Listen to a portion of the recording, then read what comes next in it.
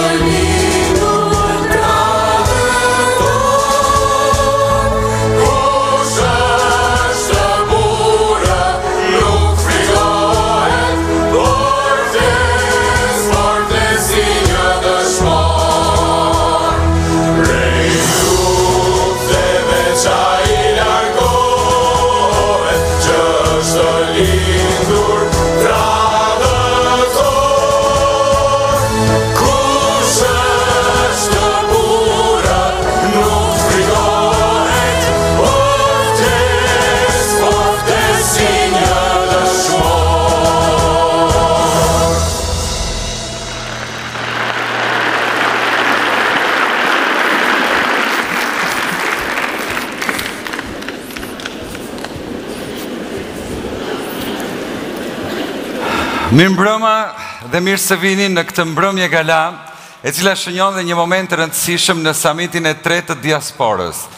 Pasaporta më e rëndësishme e kombit tonë është himni, që bashkon gjakun e shqiptarit, dhe kjo mbrëmje në prag festash nëntori sjell gjithë Shqipërinë në këtë sallë.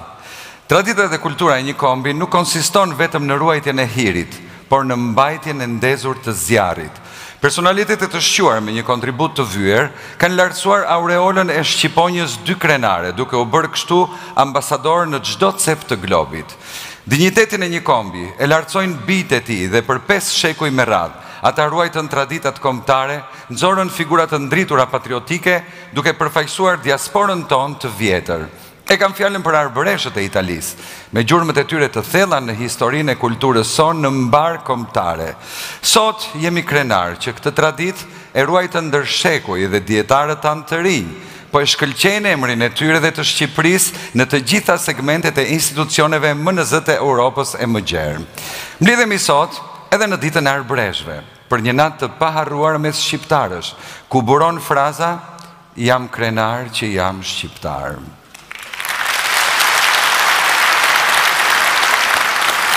Unë jam mirëseardhja artistike, ndërsa ajo zyrtarja do të vijë tani përmes ministrit për punët e jashtme dhe të Europës, zoti Igli Hasani.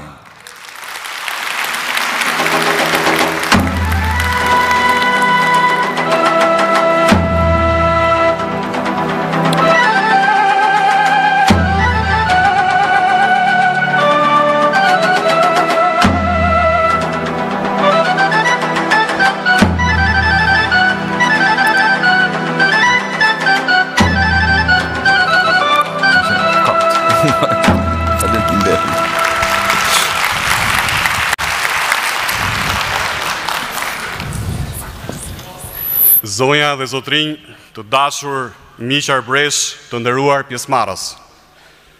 Kam kënaqësinë e veçantë t'ju uroj mirëseardhjen në ditën arbëreshe. Faleminderit gjithëve që jeni sot këtu me ne.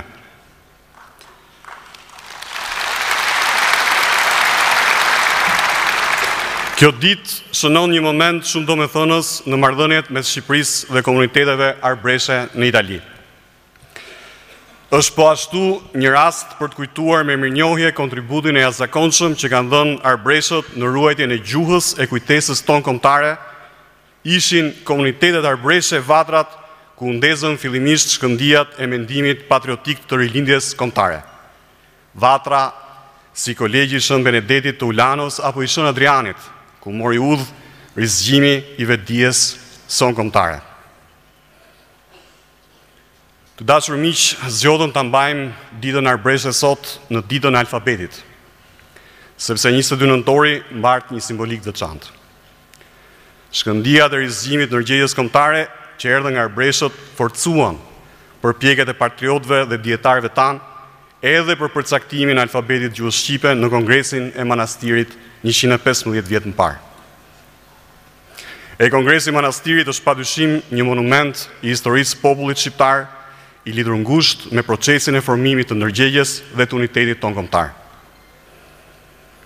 Prandaj është me vend nderojmë punën e palodhur të arbëreshëve për gjuhën dhe kujtesën, këtë traditë që vazhdon edhe sot falë përkushtimit të katedrave të gjuhës dhe letërsisë shqipe në Itali, nga l'Orientale e Napolit e në Palermo, nga Kozenca e në Romë e Venecia apo nga Salento deri në Bolonjë. Këto katedra janë laboratorë të mirëfilltë të kërkimit shkencor për gjuhën shqipe e asaj arbëreshe në veçanti. Drejtuesit e tyre meritojnë vlerësimin tonë maksimal Dhe një falënderim të sinqertë nga zemra.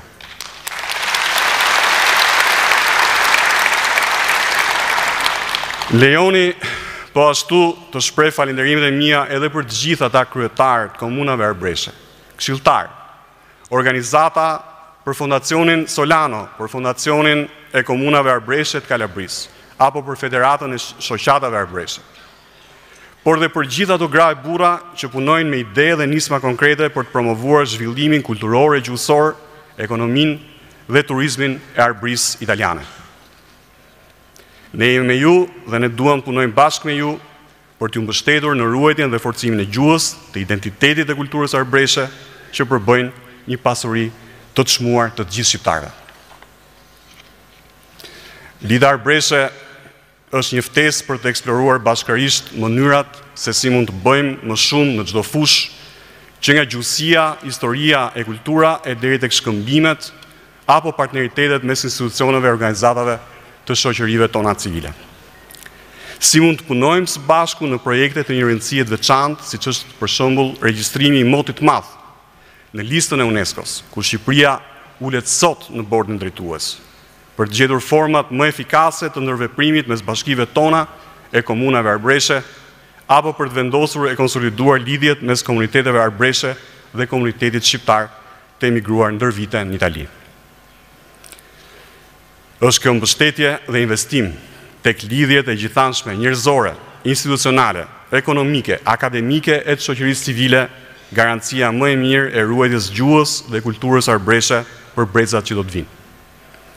Breza që nuk do na e falin nëse ne nuk veprojmë sot me ide dhe projekte të qarta për të ruajtur këtë thesar me të cilin krenohemi kudo ku jemi. Shqipëria ka sot mundësi reale të bëjë atë që për pjesën më të madhe të ekzistencës vet nuk ka pasur mundësinë ta bëjë. t'ju mbështesë me forma e mënyra konkrete. Sigurisht, në bashkëpunim e partneritet të ngushtë me Italinë, e cila historikisht ka treguar për komunitetet arbëreshe një vëmendje e kujdes të veçantë dhe për këtë meriton mirënjohjen tonë. Jam i bindur që diskutimet që janë mbajtur sot në panele do t'i shërbejnë këtij synimi të përbashkët dhe ju siguroj për angazhimin e Ministrisë për Evropën dhe Punët e Jashtme për të qenë kurdoherë pranë jush. Ju faleminderit edhe një herë mirëseerdhët.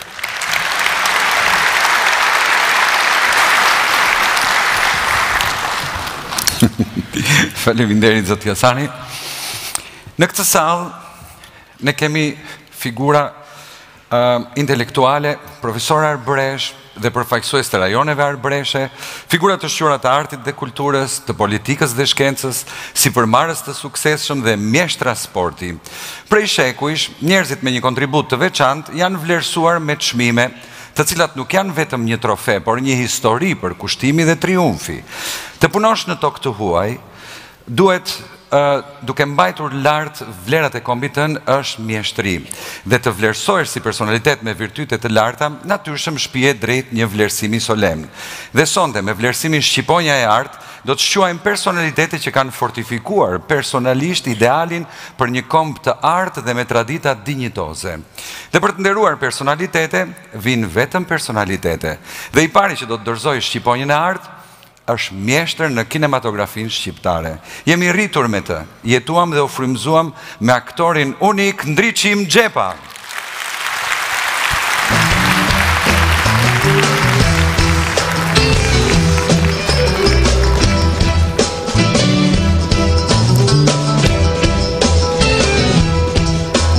Mirë se vjen. Faleminderit. Me kënaqësinë e të qenit të gjithë bashkë sonte këtu për të respektuar arbëreshët tanë.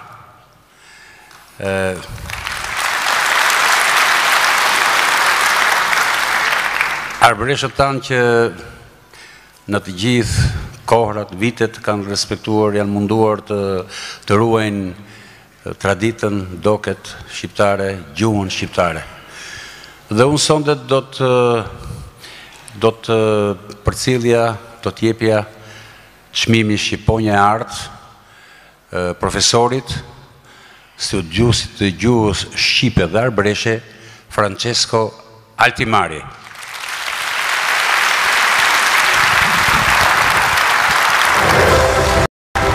për përkushtimin e thellë dhe punën e pandërprerë në shërbim të gjuhës së zemrës, për merita të padiskutueshme, jo vetëm në ruajtjen, por edhe ngritje në nivele akademike të gjuhës së të parëve, nderojmë sot akademikun arbëresh, Francesco Altimari, me Shqiponjën e Artë. Oh.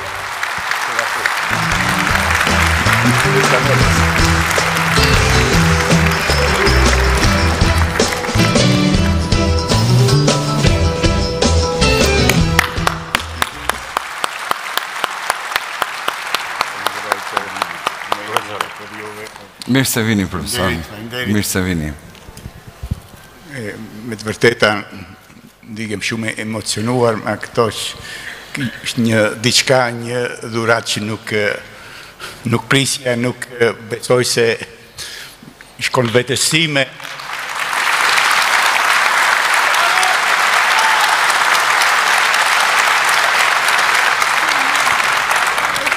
Jemi mirënjohës Shqipërisë që na kushtoi kaq vëmendje e kaq kujdes, besoj se me të vërteta kjo ky kujdes është diçka që domethënë ndrron edhe historinë tonë sepse për herë të parë pamë këtë vëmendje të posaçme që i kushtohet neve personalisht, por Paraardhësve tanë që na kanë transmetuar këtë thesar, ne nuk jemi vetëm se, si mund të themi, instrumente të tyre, në mënyrë që jemi detyruar nga historia ta sjellim sa më përpara këtë këtë thesar të vyer që paraardhësit tanë na dhanë edhe pa mjete, por që pastaj ia transmetuam edhe Shqipërisë, ku Shqipëria është në kushte të vështira. Besoj se Atë që kanë bënë arbëreshët është diçka me të vërteta unike në historinë evropiane. Domethënë e bënë të vetën atë që të tjerët nuk kishin e ia kanë ruajtur edhe për shekuj e kemi ia kemi ridorëzuar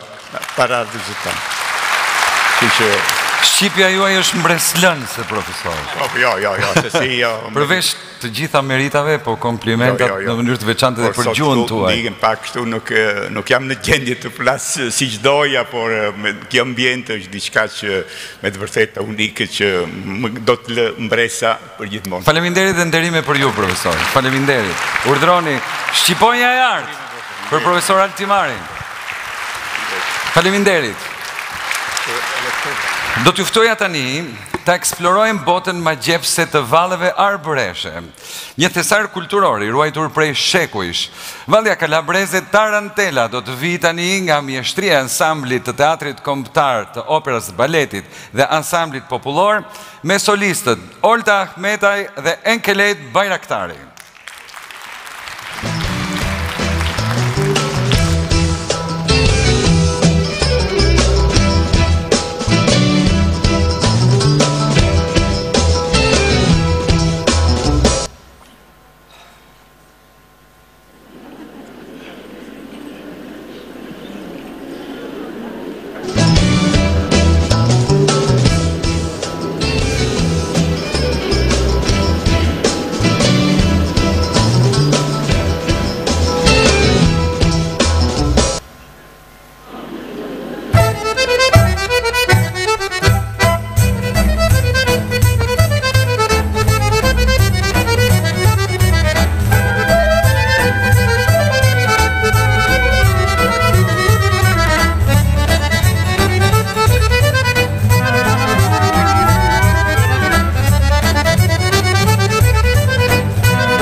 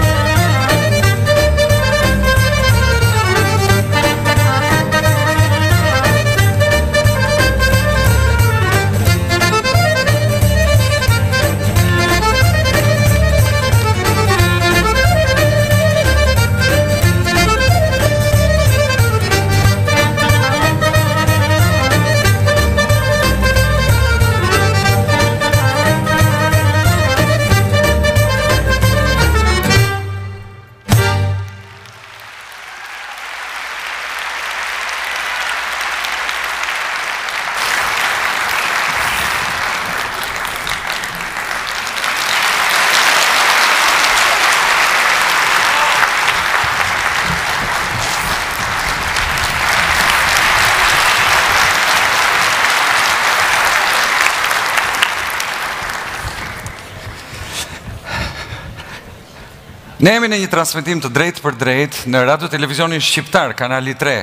i cili me projektet ambicioze është një kanal i cili do t'i dedikohet ekskluzivisht diasporës shqiptare. Mirënjohje për Radio Televizionin Shqiptar. Dhe më lejoni të ftoj për t'ju përshëndetur shkëlqesinë e tij, presidentin e Republikës, zotin Bajram Begaj.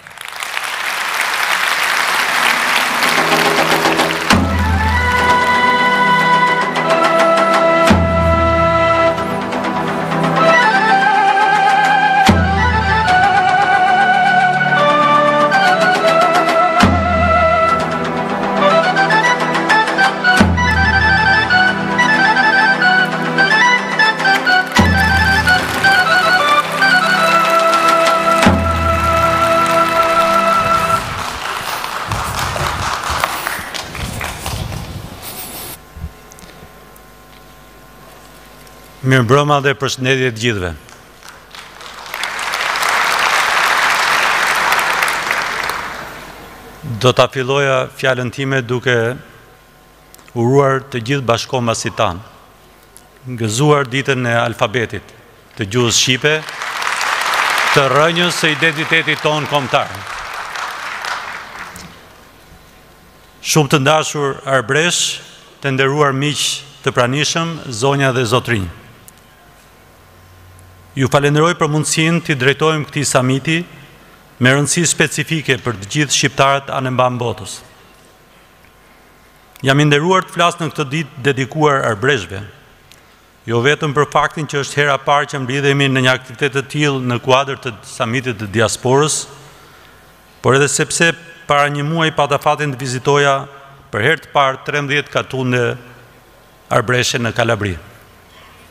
Fjalën time do ta filloj duke ndarë me ju disa nga përvojat e jashtëzakonshme që përjetova gjatë vizitës, Dhe duke falenderuar kryetarin e Fondacionit të Institutit Rajonal të Komitetit Arbëresh të Kalabrisë, doktor Madeon, si dhe të gjithë kryetarët e komunave që u bënë pjesë dhe bënë të mundur realizimin e kësaj vizite.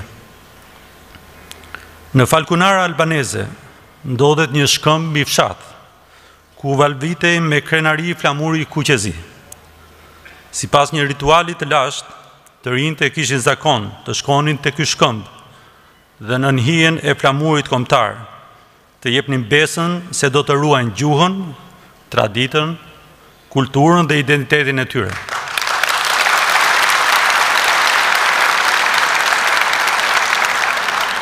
Në Palagorio gjendet një kishë këmbanat e së cilës kanë të gdhëndura shprehje shqipe për shëndetin dhe janë të drejtuar nga Shqipëria, e sa herë që bien, ato i kujtojnë banorëve origjinën e tyre. Dhe nuk mbaron këtu. Çdo fshat apo katund, siç e quajnë banorët, ruante veshjet popullore tipike. Çdo pritje ishte si një pamje e magjishme, plot me ngjyra të kostumeve popullore. Në fshatin Shën Mitër Korona, një vogëlushe tetë muajshe ishte e veshur e gjitha me kostum popullor. Për më tepër, Në shumë komuna, sheshet publike mbanin emrin e heroit tonë kombëtar, Gjergj Kastrioti Skënderbeu.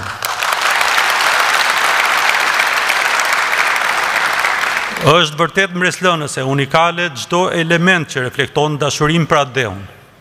Tek arbëreshët, ne shohim veten në pasqyrën e historisë.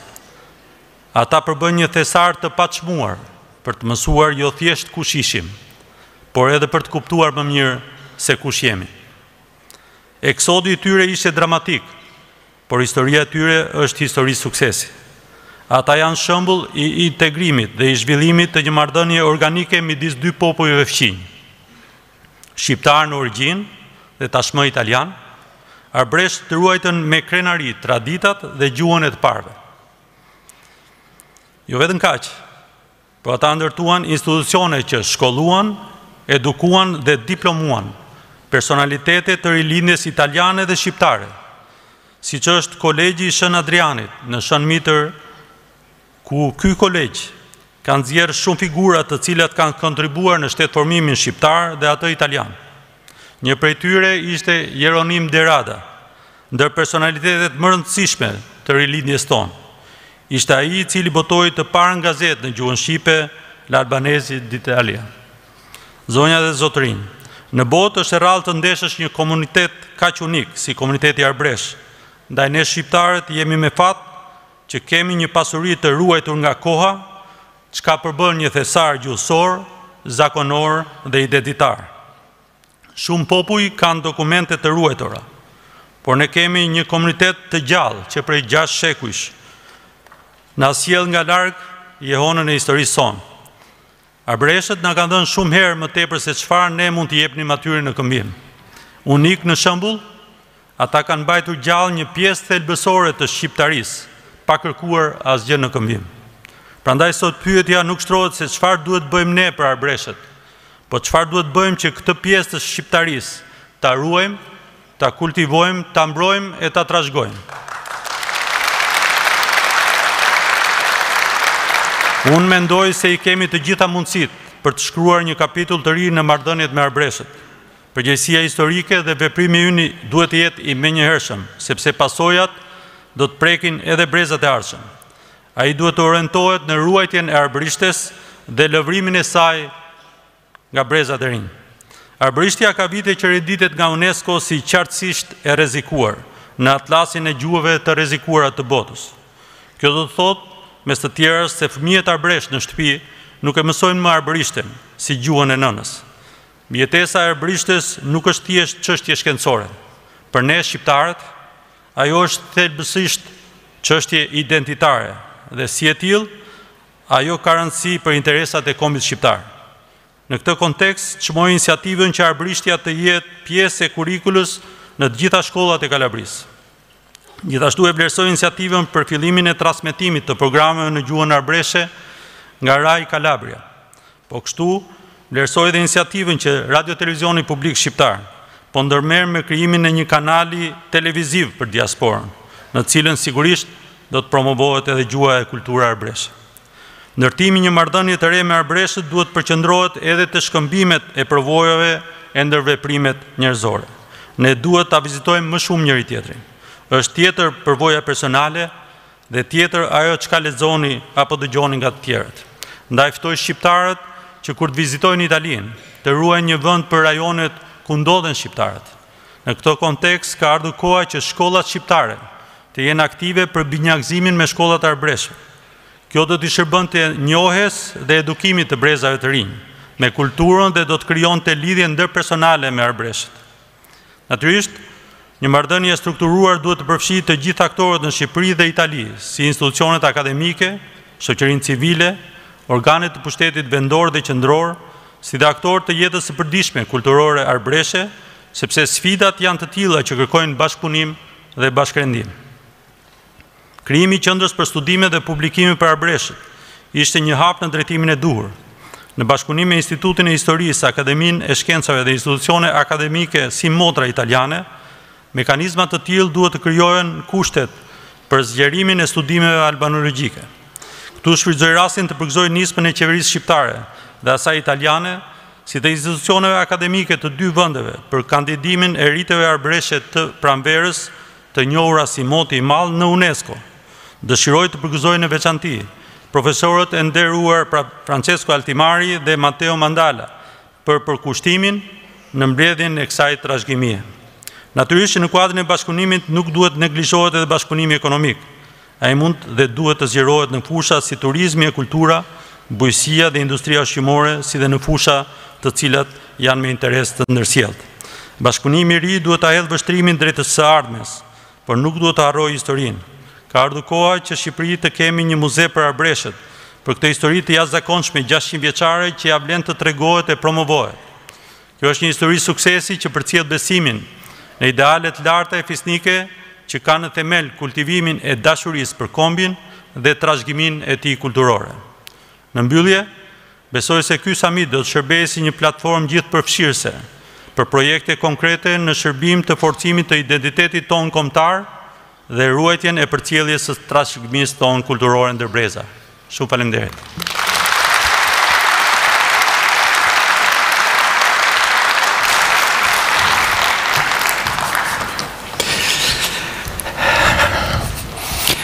Një tjetër shqiponjë do të dorëzohet nga një zonjë e skenës lirike.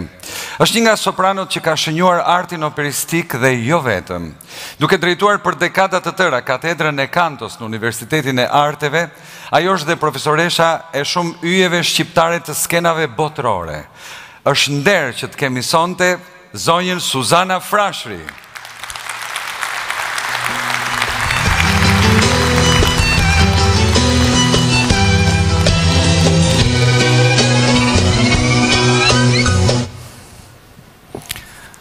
Urdhëroni zysha, se unë jam mësuar gjithmonë të të thërras zysha. Mirëmbrëma gjithëve.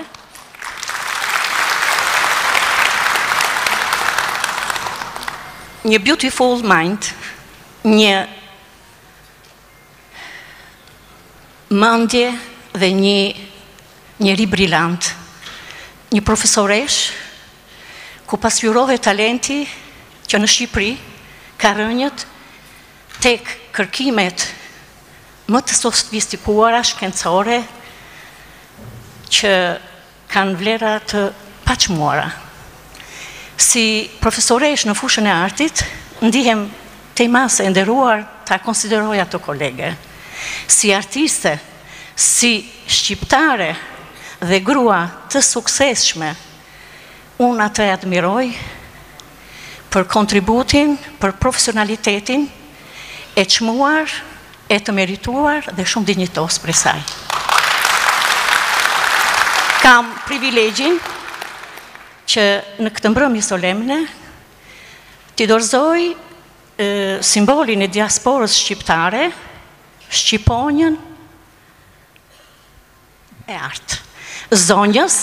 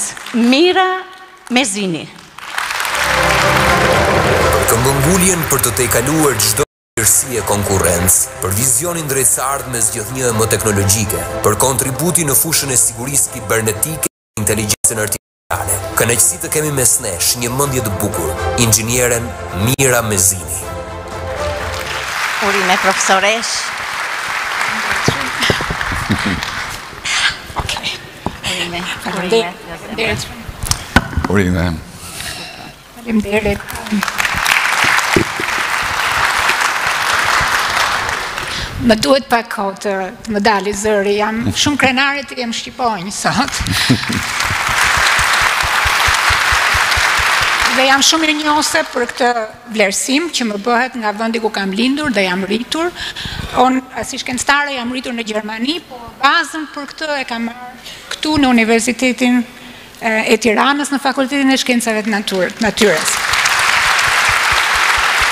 Më bëhet shumë qefi për këtë shqiponjë edhe në një aspekt tjetër sepse me këtë vlerësohet një shkencëtare dhe është shumë bukur që shkët vlerësohet ose jepet kjo nga një profesore e artit, ne jemi shumë krenar për Shqiptarët kanë bërë emër në art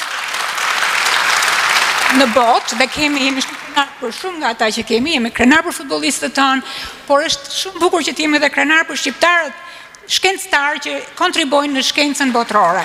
Dhe e quaj si një çmim timin në botë që punojnë në universitete në të gjithë vendet e botës dhe janë të famshëm në fushat e tyre respektive. Faleminderit. Faleminderit. Faleminderit, profesoreshë. Falenderoj zonjën Mezini dhe do t'i rikthemi artit, por në një tjetër dimension. Një artiste e ftuar do ta pushtojë këtë sallë sikurse ka pushtuar dhe skenat botërore me interpretimin e Esmeraldës në Notre Dame de Paris. Nuk është rastësi që ka zgjedhur dy këngë të dy bilbilave, një nga Shqipëria dhe një nga Kosova, Vaçe Zela dhe Nexhmije Pagarusha. Me këngët, Rrjedh në këngë e ligjërime dhe Baresha, Elhaida Dani.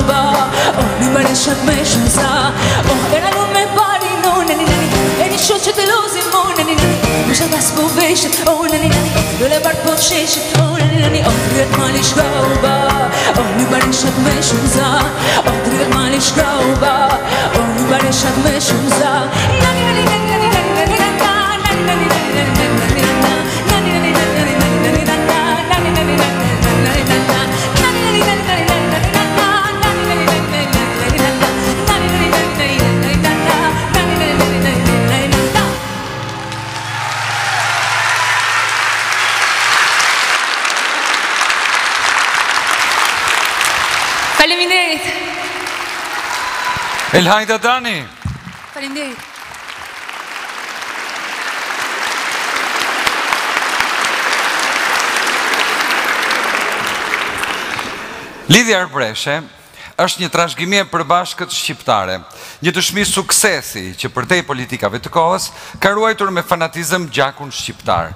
Dhe sonte kam kënaqësi të ftoj një mik që ka dhënë shumë për gjuhën arbëreshe. Është kryetari i bashkisë Piana degli Albanesi, zoti Rosario Petta.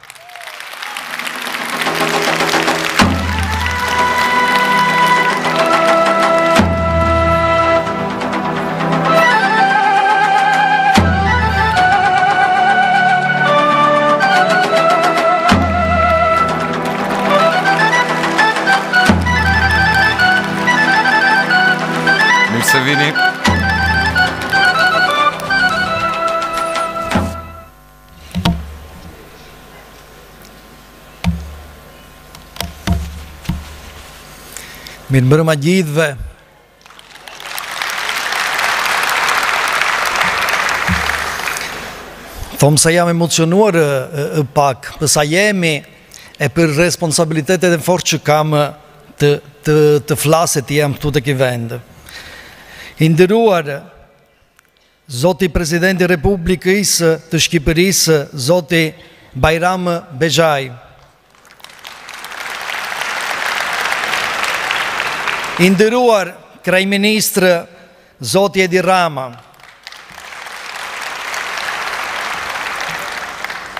e të nderuar pjesëmarrës,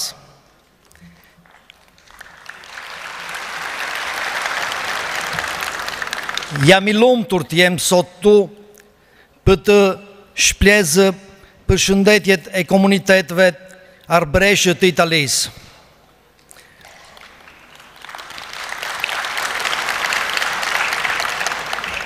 U jam Rosario Petta, anëtar i Këshillit koordinues të diasporës e kryetari të bashkisë të Horës e Arbëreshëve Piana degli Albanesi.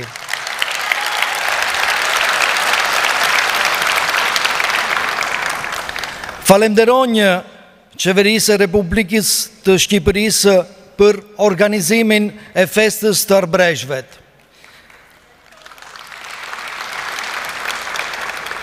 Jam mbështetës të promovues i bindur i lidhjes së fortë historike kulturore pjerdashur të ndjenjave që ka kë gjithmon e dashur me komunitetet tonë të popullit të shqiptarët me rastin solemn të ditës të arbëreshvet duke konfirmuar se nuk kish lënë kurrë pas dore ndeja jonë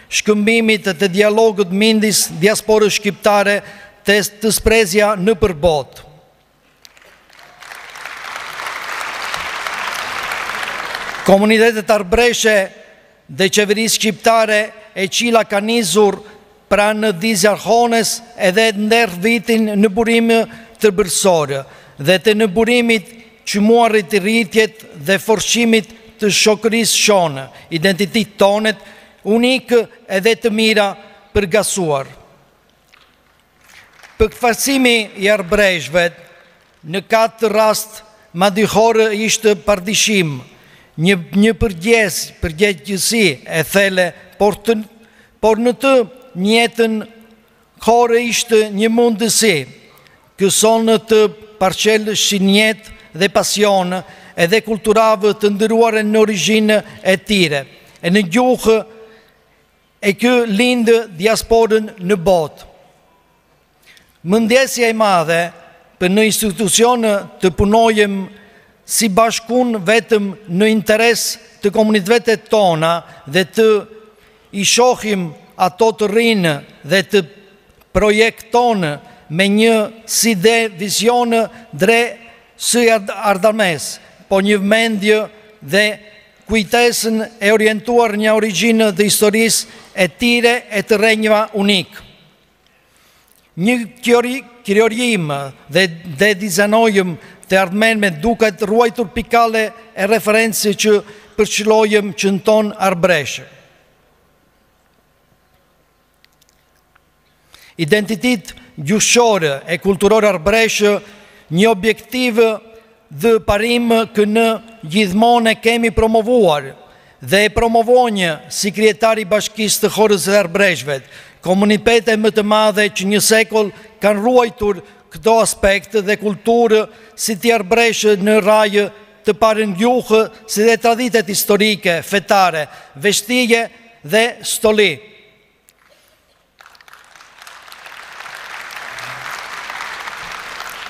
Vlerësimi dhe mbrojtja sigurët themeli kësi bashku me pasion dhe me ndjenjën tona të përkatësisë mund të duhet të thohjëm me iniciativë dhe jahta të Për së tashmë, me gjithmonë jetën, të ardheshjën, rëndësishme, rregullimin dhe krenarinë për gjuhën tonë arbëreshe, gjuhën minoritare tonë që në Itali kemi finalmente një ligj që na jep tutelë.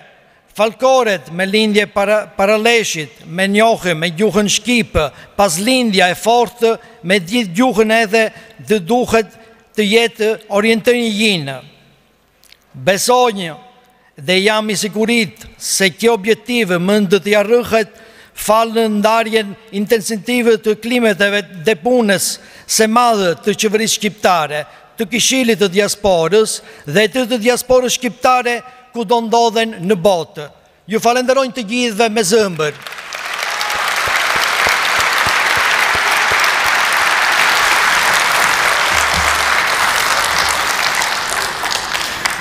Faleminderit, Zoti Rosario, kishit futur shumë fjalë shqip në gjuhën tuaj.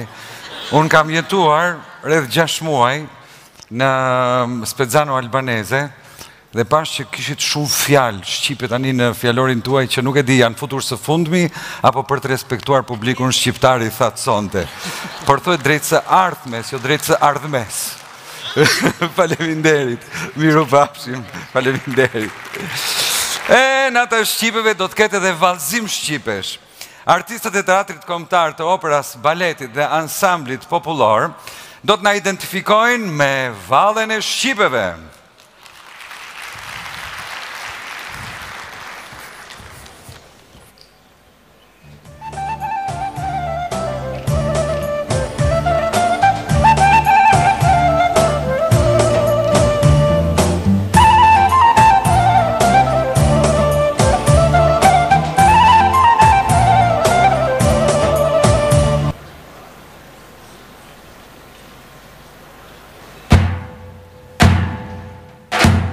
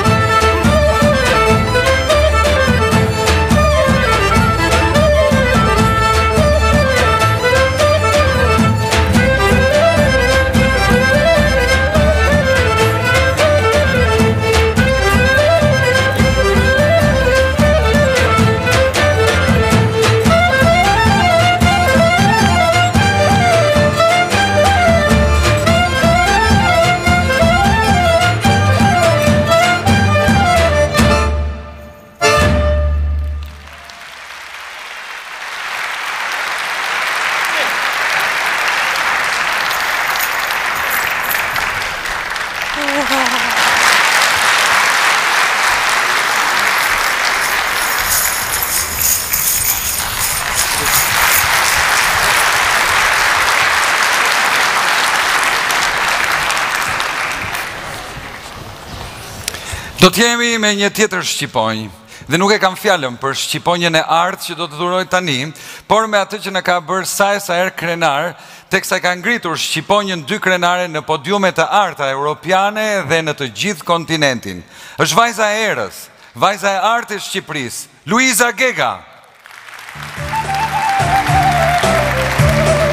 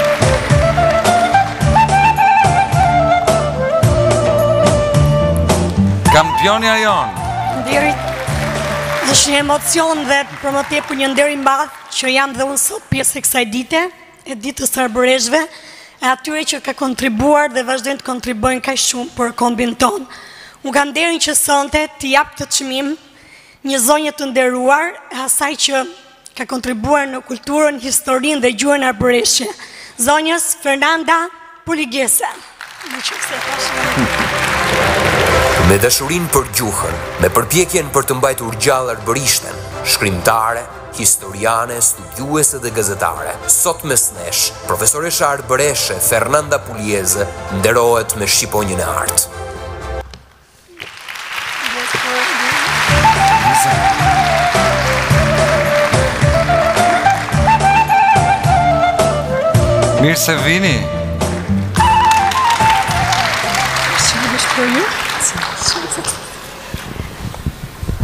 Ju haristisënj shumë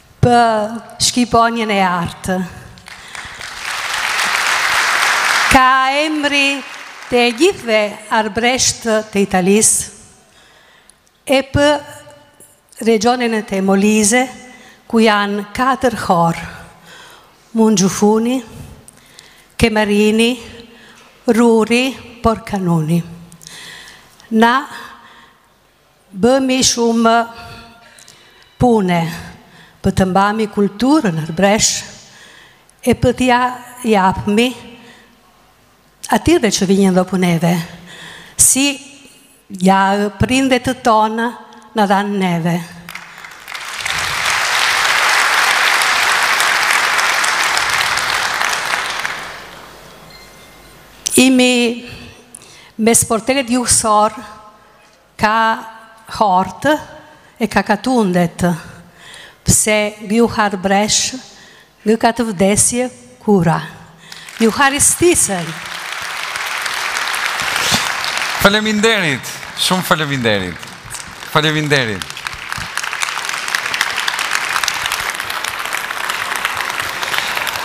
Arti ka shumë dritare, Prej ku mund të sodisësh një peisazh ngjyrash artistike. Dhe plot ngjyra tingujsh, do të mbushet salla nga një artist i vërtetë, i cili do të shoqërohet nga kolegët e tij, Alban Tahiri.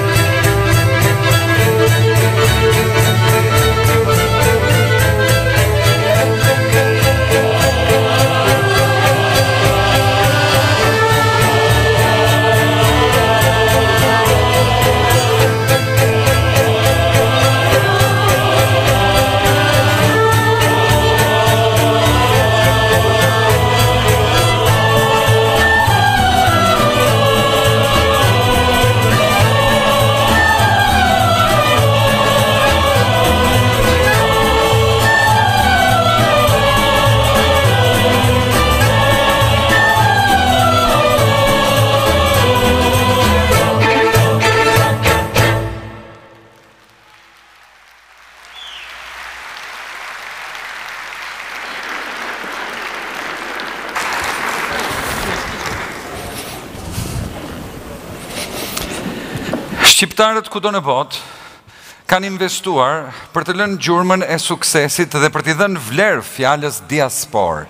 Ata janë përpjekur me mish e me shpirt të përçojnë zërin shqiptar anë e kënd globit. Më lejoni të ftoj për një përshëndetje, zëvendëspresidenten e gjithë rajonit të Kalabrisë, Xhuzepina Princi.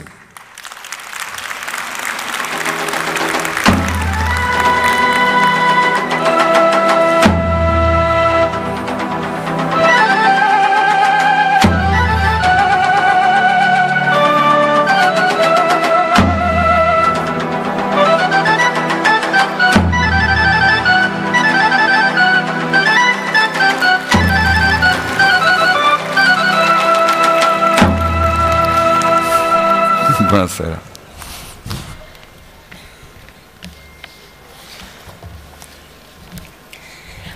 Buonasera a tutti.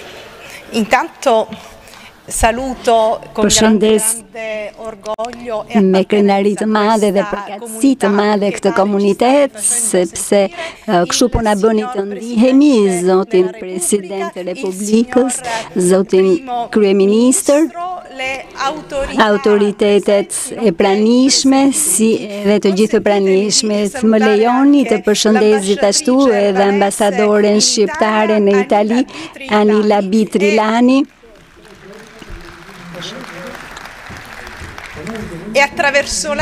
Dhe përmes saj të gjithë popullin shqiptar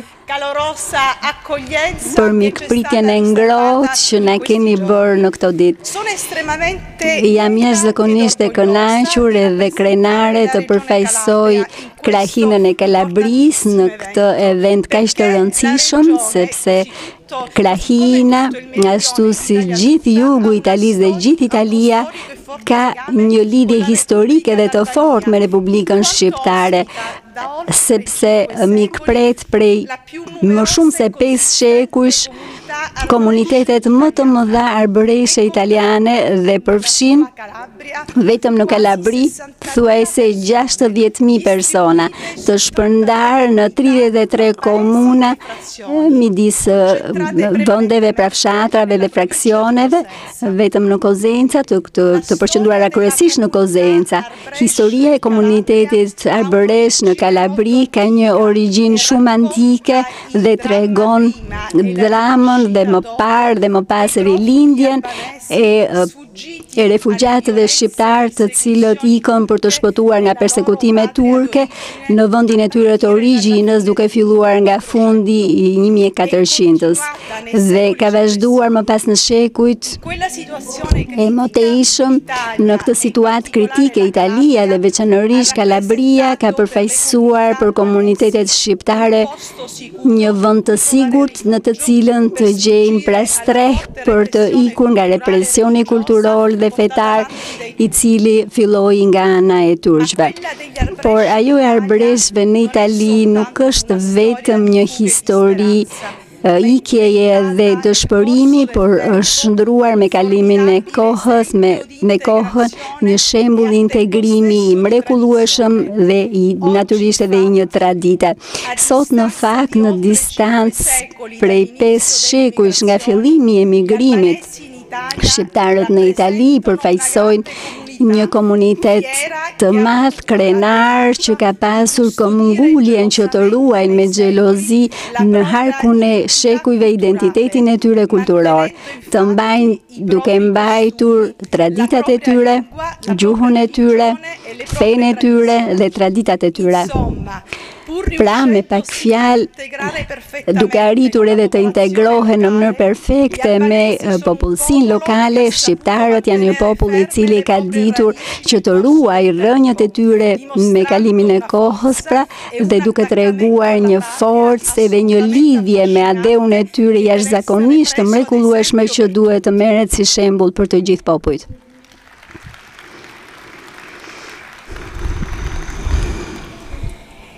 E questo diventa ancora Dhe kjo bëhet ende akoma më e dukshme në shoqërinë e sotshme që është bërë gjithnjë e më shumë konformiste dhe anonime dhe në të cilën fatkeqësisht traditat dhe identiteti dhe gjuhët lokale po humbin dhe po ngatërrohen, duke i lënë vendin një kulture sidomos tek të rinjtë absolutisht uniforme dhe në të cilën është e pamundur të çmosh të çmosh veçantitë e realiteteve lokale.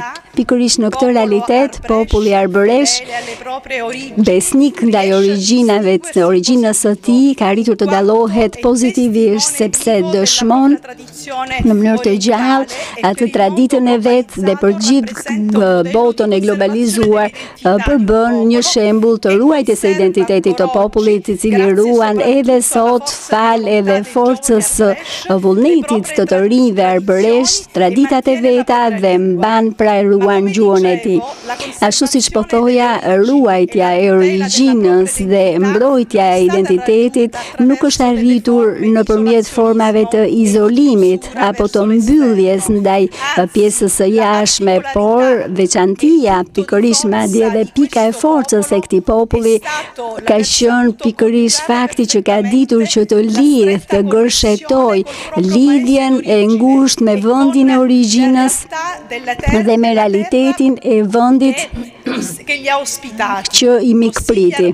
Kështu shqiptarët nuk kanë krijuar pra ishuj në brendësi të Kalabrisë, por kanë arritur, kanë ditur të integrohen me popullsinë lokale, me komunitetin lokal, duke harmonizuar pra elemente me kulturës së tyre, elemente të vendit lokal me të tyre, pra në respekt të traditës, Kjo është përfaqësohet nga elementi fetar, pikërisht feja ka qenë për gjysmë mijëvjeçari elementi kryesor i bashkëlidhi lidhjes me shqiptarët e shqiptarëve të pra të, të Italisë së Jugut, një fe kristiane e cila ndjek traditën në ritin të ritit bizantin, edhe sot feja katolike arbëreshe ruan struktura disiplinë dhe liturgji dhe tradita të ritit bizantin, ashtu siç praktikohet nga feja, nga kisha ortodokse, por njeh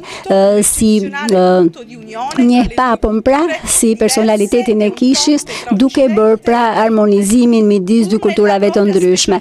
Ndonëse në veçantinë e tyre popullsia arbëreshe ka qenë gjithmonë integruar me popullsinë lokale, dhe pikërisht në monumentet ku kjo vëllazëri ndihen më shumë dhe veçanërisht është veçanërisht në në Kalabri dhe në Itali kontributi që i është dhënë nga vendet arbëreshe kauzës së rilindjes dhe në veçanti spedicionit të mijëve të Garibaldit në të cilën morën pjesë shumë shumë arbëreshë i referohem në mënyrë të veçantë komunave të Shën Mitrit të Koronës që përfaqësohet këtu nga kryetari i bashkësisë Frashineto Civita si edhe kontributi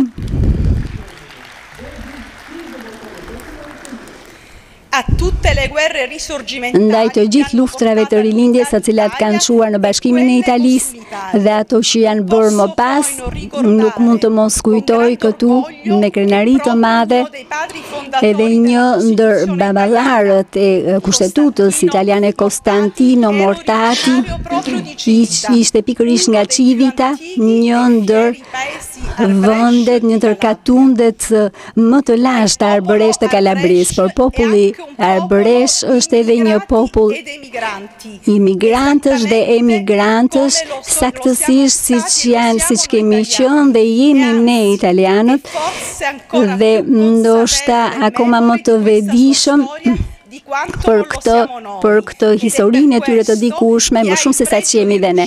Prandaj ai që arrin që të përjetojë pra emigrimin e modern, e moderne me një, me një ndjenjë, mikpritjeje, është i aftë që të kuptojë shumë më tepër se ne italianët problematikat e integrimit. Krahina e Kalabrisë është e vetëdijshme për pasurinë që vjen nga diversiteti dhe nga domosdoshmëria për të kontribuar me qëllim që traditat, gjuha, feja, kultura mijëvjeçare e një populli tashmë historik të Kalabrisë të mund të ruhen dhe të trashëgohen. Kjo lidhje antike që lidh Kalabrinë me Shqipërinë duhet të bëhet pra baza e nisjes fillimi për të filluar strategji të reja dhe rrugëtime të virtytshme të cilat të vendosin gjithnjë më shumë në qendër vlerësimin e marrëdhënieve midis komuniteteve arbëreshe dhe Shqipërisë. Si dëshmi, natyrisht si dëshmi pra e kësaj lidhjeje midis Kalabrisë dhe Itali dhe Shqipërisë, në kuadrin e programimit të të krahinor të ndërhyrjeve në mbrojtje të territorit një pjesë e financimeve, Që presidenti ynë i krahinës së Kalabrisë, Occhiuto i cili ju përshëndet të gjithë dhe por për angazhime të tjera institucionale, nuk ka arritur që të jetë këtu i pranishëm sot, por më dërgoi mua zëvendësen e saj për ta përfaqësuar dhe për t'ju dhënë, pra për t'ju kaluar përshëndetjen e tij dhe të gjithë Kalabrisë.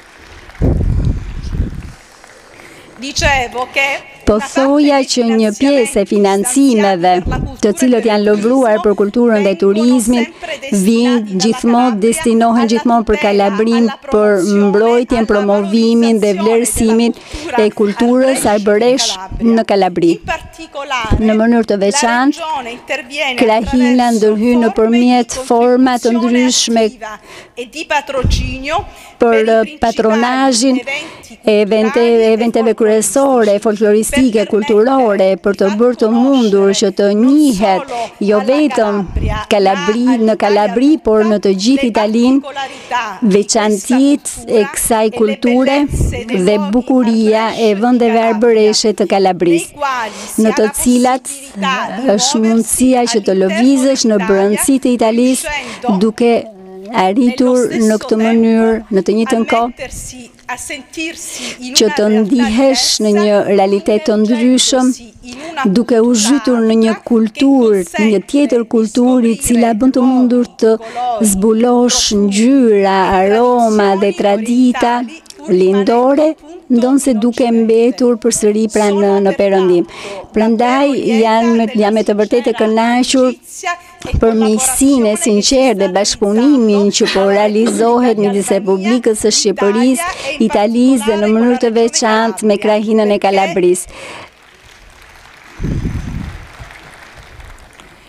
Sepse përfaqëson një rast të madh të vetëm për t'i bërë të mundur të dy komuniteteve që të rriten jo vetëm në terma ekonomik, por Më parë në në planin kulturor dhe social. Sua Eccellenza complimenti, pensavo che solo il nostro primo ministro sapeva scegliere Përgëzime Shkëlqesi, unë mendoja që vetëm pra kryeministri ynë dinte të zgjidhte gratë lider në udhëheqje, por edhe në Itali nuk bëjmë shaka. Por është e jashtëzakonshme të mendosh se sa talente çudisin botën. Jo vetëm Shqipërinë, por edhe në Itali, ajo e ka çuditur me talentin e saj. Kurdo kur ka marrë pjesë në këtë skenë ku jemi ne tani, ajo gjithmonë e ka fituar. Pippo Baudo e kishte në dritë të syrit dhe tre herë ka marrë pjesë në Sanremo, festivalin e famshëm duke bashkëpunuar me emra legjendë të muzikës italiane. Sonte vjen të japë shqiponjën e artë, jo për vete, sepse e ka fituar me kohë, Elsa Lila!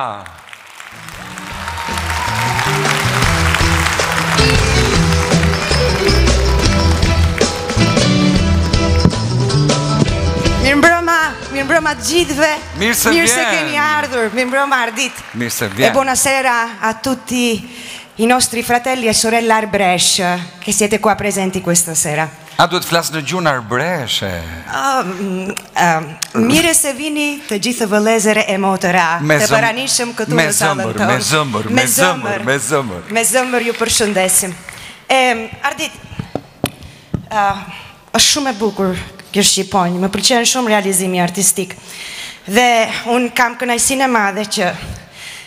Sonte t'ia jap këtë shqiponjë një shqiptari të madh që jeton në Itali ashtu siç unë.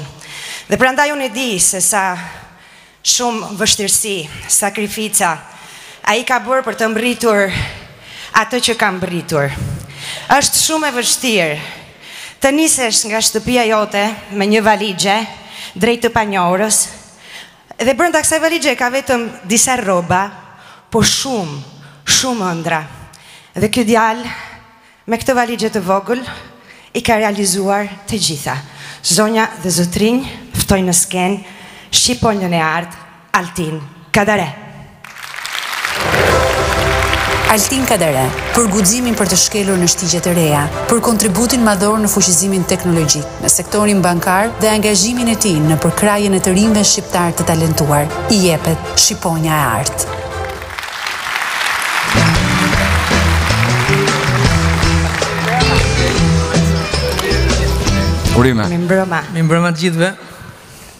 E kjo është shqiponja jote, që sot ti je shqiponja e artë. Shumë faleminderit, shumë faleminderit. Jam uh, i nderuar dhe shumë emocionuar të jem këtu dhe faleminderit shumë Elsa që e përshkrove pak a shumë ashtu udhëtimin tim. Um, nuk e kam arritur akoma gjithë ëndrrat siç e the ti, është vetëm fillimi. Uh, unë kam krijuar një kompani që ka filluar Në Milano dhe më tutje është zhvilluar në Shqipëri, në Kosovë, në Prishtinë dhe po ashtu në Londër dhe në Singapor. Por e veçanta më e madhe është që 80% e talentit tonë është shqiptar. Kështu që çdo ditë Faleminderit. Ky talent shkruan kod software, shkruan kod të inteligjencës artificiale që përdoret nga të gjitha institucionet financiare kur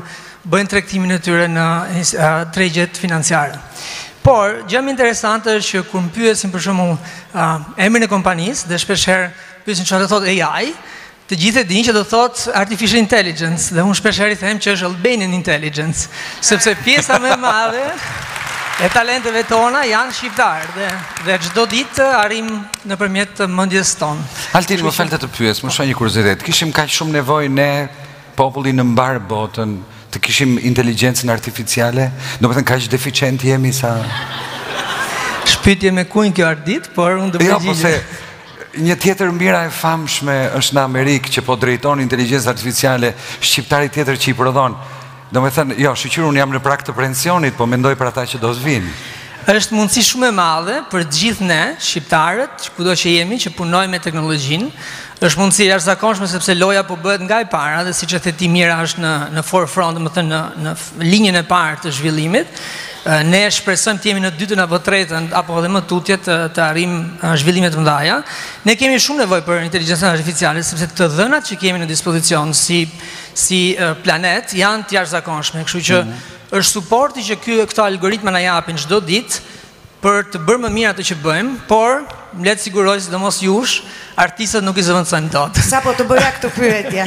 Atë nuk e bëjmë dot, kështu që u çliruam. Mund inteligjenca artificiale të kompozojë muzikë e di që kanë arritur deri diku.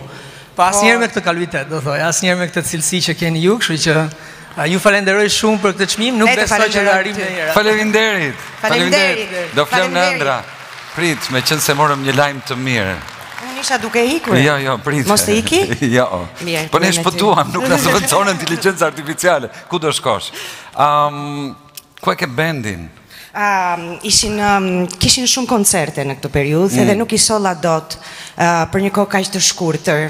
Për një këngë, dy, minimalisht. Po, jo tre. Ardit, unë kur qëndroj në këtë skenë, mm. zakonisht nuk jap çmime, por këndoj. E di, prandaj dhe. Dhe është e, si të thuash, është një ndjenjë e brendshme e pafrenueshme që unë të mos këndoj. Duhet patjetër e para dhe e dyta, sa herë jam përballë publikut tim, duhet patjetër që t'i përshëndes me zërin tim. Jam i lumtur. Urdhëro. Por, duke qenë se nuk kemi bendin tim, unë propozoja diçka. Duke qenë se ti je kompozitor, këngëtar, pianist, nuk e di tani deri pas kaq kohësh nëse di t'i biesh pianos akoma? Edhe i bie, sigurisht që i bie. Edhe i bie apo i bie? Edhe, edhe, edhe, edhe. Po mirë, duam të improvizojmë diçka sonte bashkë. Bashkë. Po. Do të më shoqërosh? Duam të bëjmë diçka të dy. Kujtoj vitin 96, teksa unë prezantoja Festivalin e Këngës në Radio Televizion dhe ti fitove 15 vjeç Me këngën Pyes lotin. Po. Unë atëherë këndoja në projeksion me babin tënd po. dhe ishim të dy të lumtur, si me thënë sikur ti ishe një pjesë e familjes time dhe ke qenë gjatë gjithë kohës. Kështu që po pse jo? Jemi mes shqiptarëve që kanë ardhur nga vende të ndryshme. Na falni ndonjë gabim të vogël, por çfarë do këndojmë? E shikojmë rrugës, tani ta them në vesh. Okej.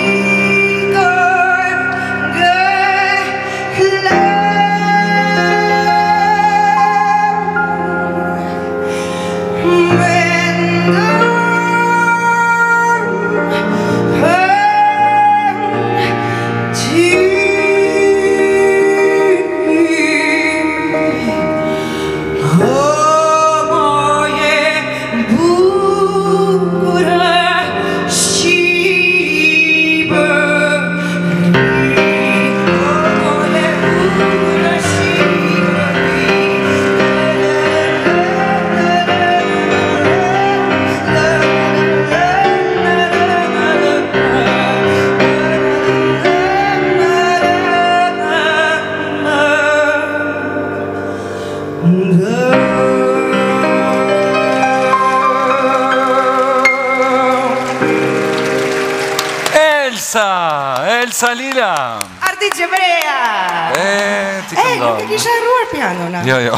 Bravo. Tani do doja që të këndonim të gjithë bashkë. Unë kam shumë dëshirë kur i gjithë publiku bëhet një me skenën. Kur skena bëhet sallë dhe salla bëhet skenë. Besoj se të gjithë e dini këngën Moj e bukura More, apo jo? Dhe sidomos atë, po, me gjysëm zëri, okej. A, po, faleminderit. Kjo po ishte ngrohja e zërit, dhe do doja, do dëshiroja, do dëshiroja shumë që ta këndonit të gjithë së bashku me ne, dhe të bëheshim një familje, një familje e madhe shqiptare, së bashku me Elsa Lilën. Forca! Forca!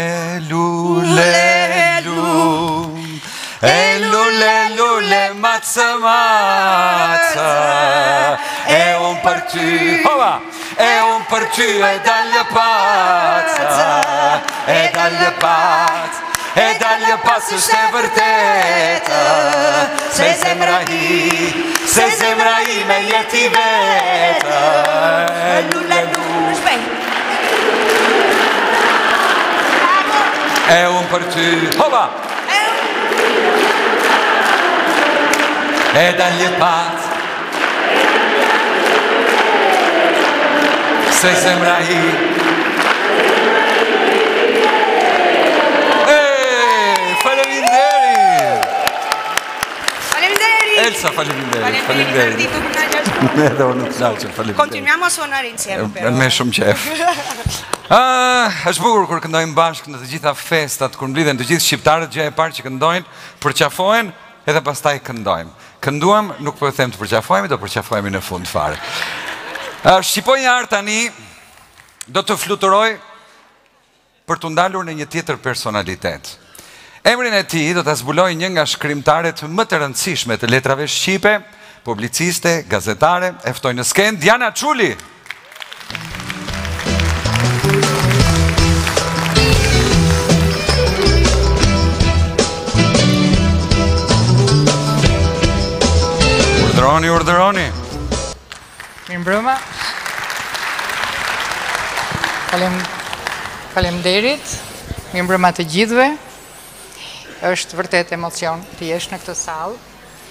me me erbëreshët, me njerëz nga diaspora e Shqipërisë. Unë kur po dëgjoja të flitej arbërisht, E nuk e di pse më ndodh gjithnjë dhe kur i edhe kur i kam takuar gjithmonë edhe kur kam shkuar, që më kujtohen ndonjëherë shprehje dhe fjalë të gjyshes time, që ishte nga bregu i detit, Dhe shpesh dhe gojdhëna atje thoshte që këndej aty kur kanë ikur, kur ka qënë fshati Arbëresh, ja ku kanë qënë vëndet ku ishin burimet e ujit që ata i mbuluan me velenza që mos i gjenin turqit. Këto ishin gojdhënat, po unë gjithnjë këto intonacione, këto gjëra i dëgjoj, prandaj jam shumë e lumtur që ndodhem sot këtu, por çmimin Shqiponja e Artë nuk do t'ja jap një arbëreshi sot, po do t'ja jap një njeriu që jeton në një vënd ballkanik, pikërisht në kufirin verior të Shqipërisë, i cili është një politikan që e di shumë mirë se e ardhmja e rajonit të Ballkanit është integrimi në Europë, që i ka dhënë shumë forcë zërit të shqiptarëve në vendin e tij dhe kush mund të jetë tjetër përveç ish-kryeministrit të Malit të Zi, Dritan Abazoviç. Për peshën që ka marrë mbi supe, për t'u kthyer në zërin e fortë të shqiptarëve të Malit të Zi, për rrugëtimin e pandërprerë drejt familjes së madhe europiane, Shqiponja e artë, për djalin e Ulqinit, politikanin, ish-kryeministrin e Malit të Zi, Dritan Abazoviç.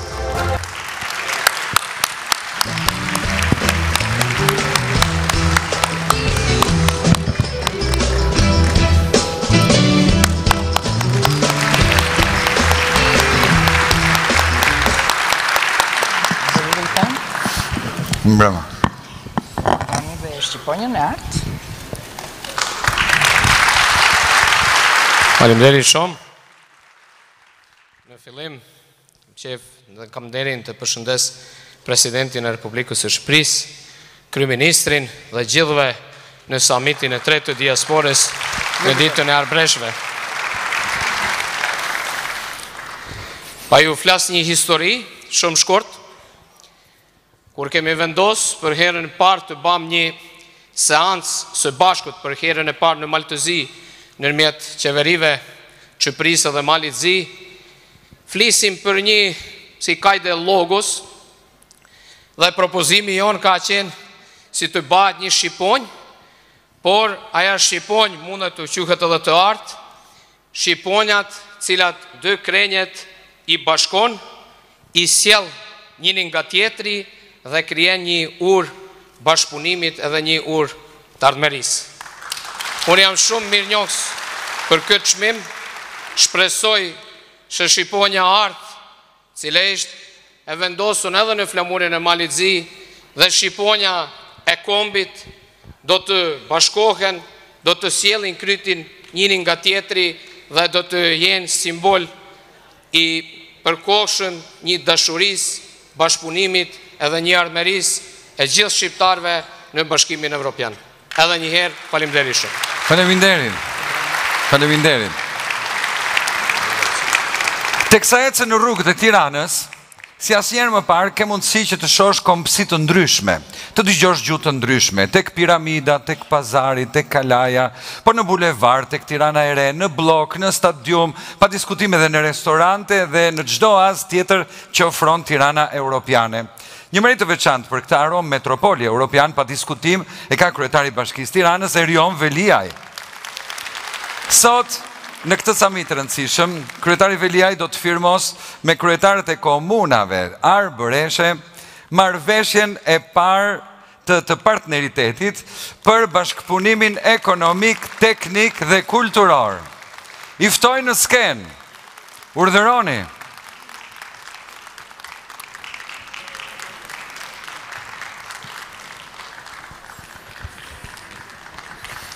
Mirë se vini. Mirë se erdhët. Mirë se ju gjetëm. Mirë se erdhët.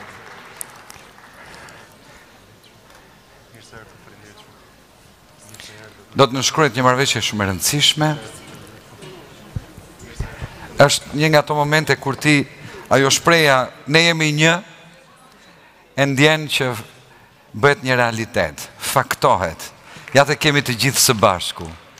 Kënaqësi e jashtëzakonshme.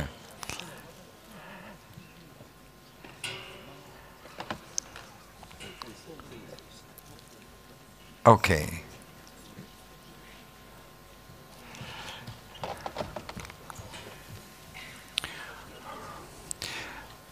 Mund të nënshkruani marrëveshjen dhe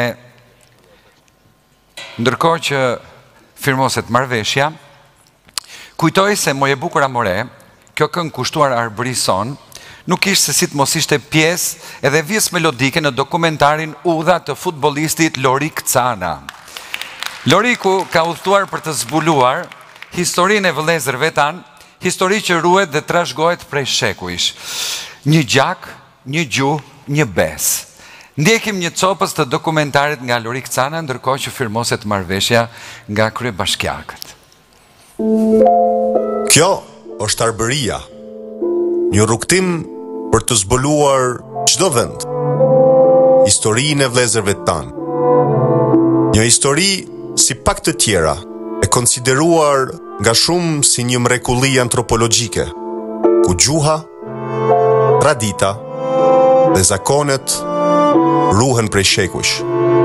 Ka ardhur koha që ky shpirt t'i bashkohet trungut dhe rrënjëve nga ku është shkëputur më shumë se 5 shekuj më parë.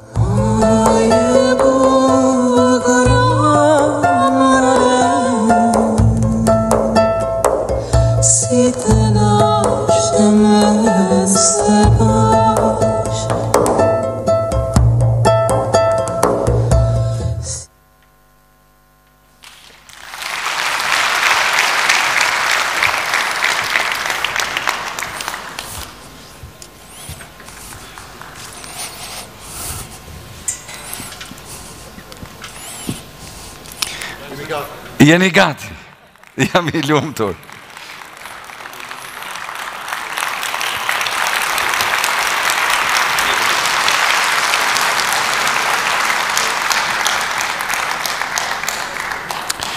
Faleminderit, faleminderit udhë e mbarë në këtë bashkëpunim dhe presim të shohim frutet. Mezi presim që të na vini përsëri dhe mezi presim që dhe ne të vijmë dhe t'ju vizitojmë.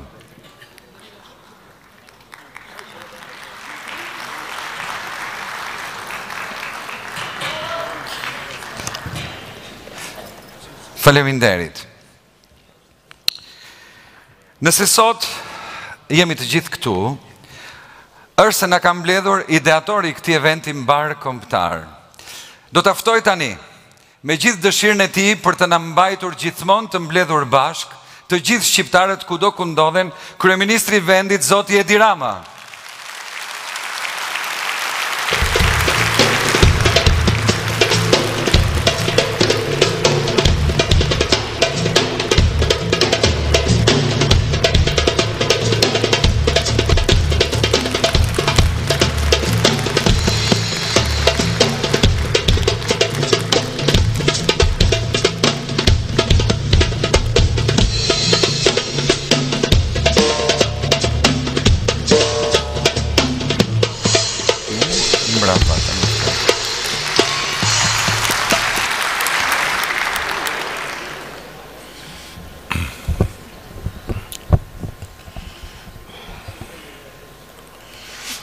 Të nderuar miq dhe të ftuar, të dashur vëllezër dhe motra nga Arbëria,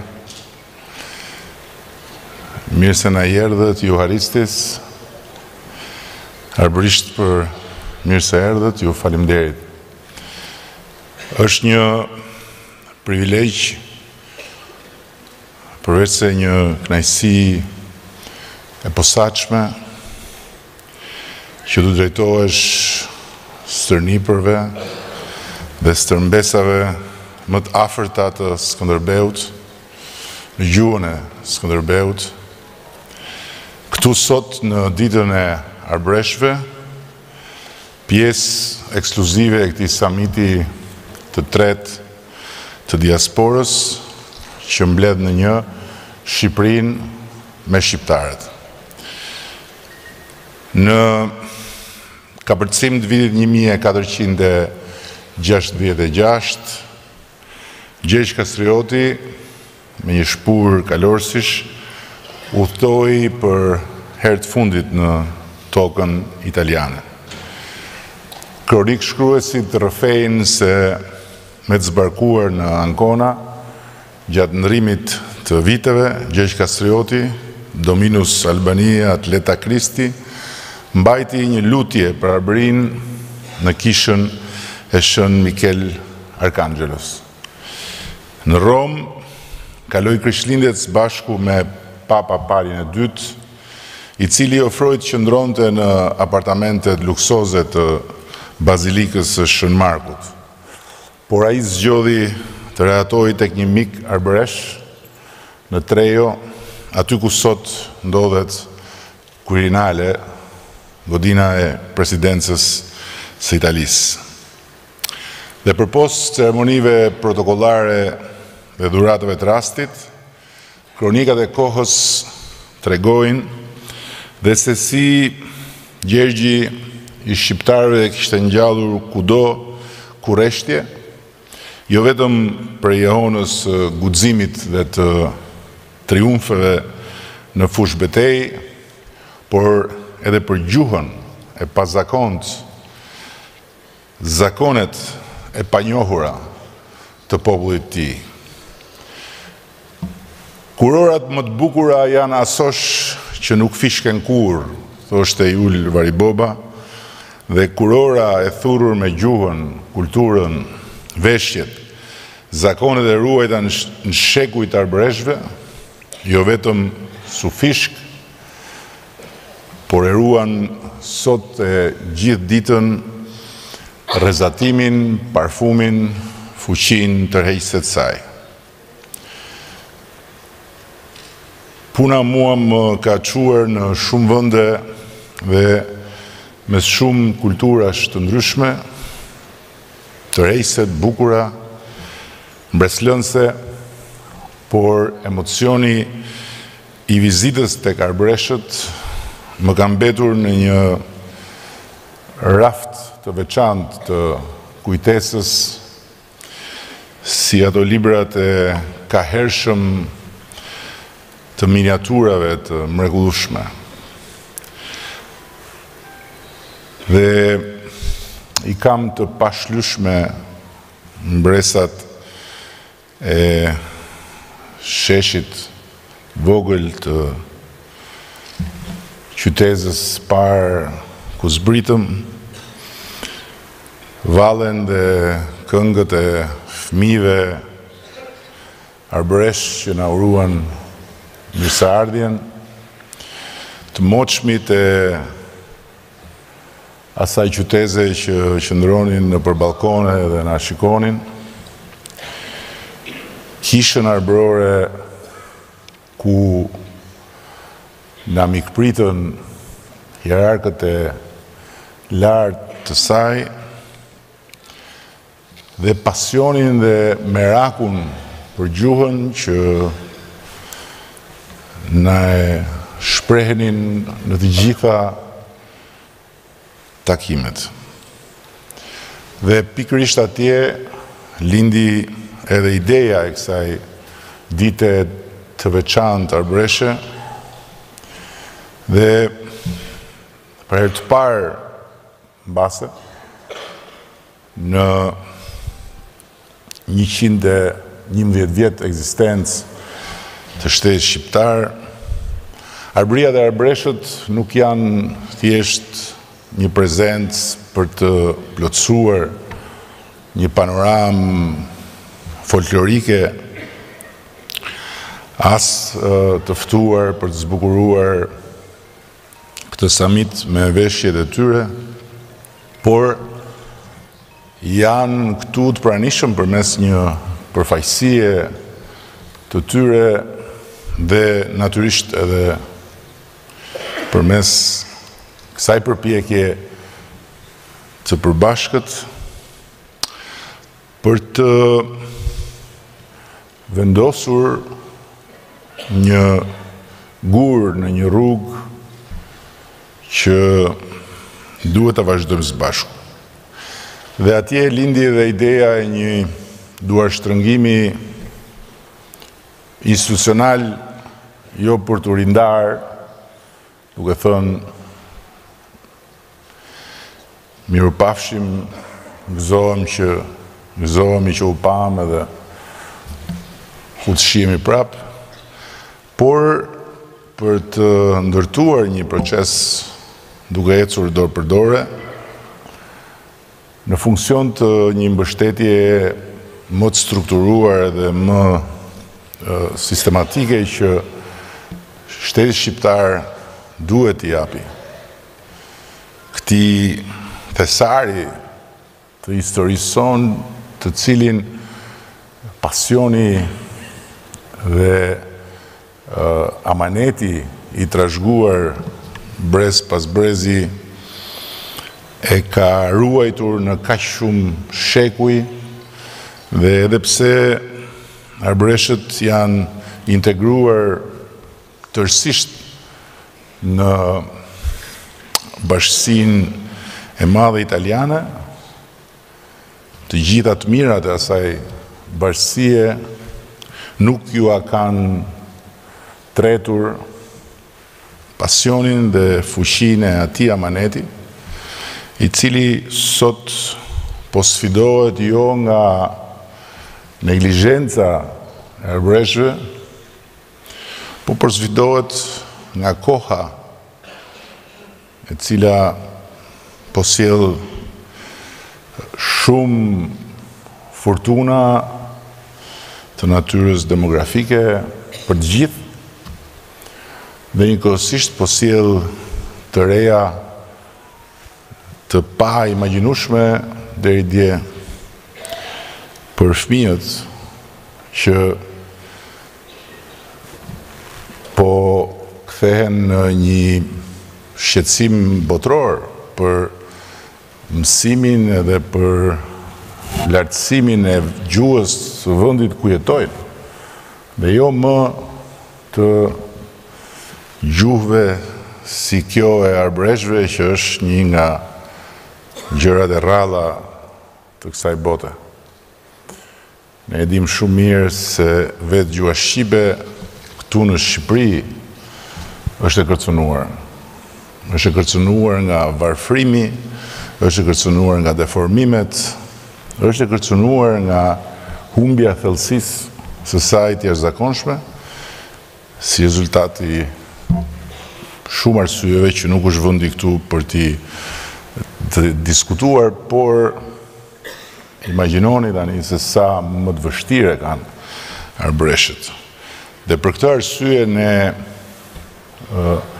kemi vendosur që të hapim këtë proces që nisi me firmat që u hodhën sot këtu mes kryetarit Bashkisë Tiranës dhe një përfaqësie të kryetarëve të komunave arbëreshe, që do të vazhdojmë me një binjakëzim të të gjitha bashkive tona, me të gjitha komunat arbëreshe.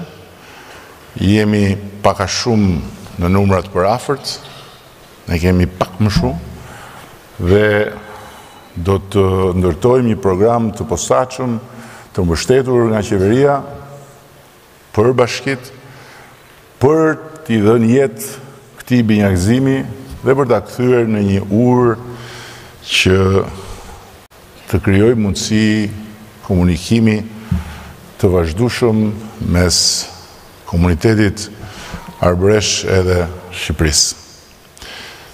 Po atje në Ato ditë, aq të posaçme lindi edhe ideja e Muzeut Arbëresh në Shqipëri.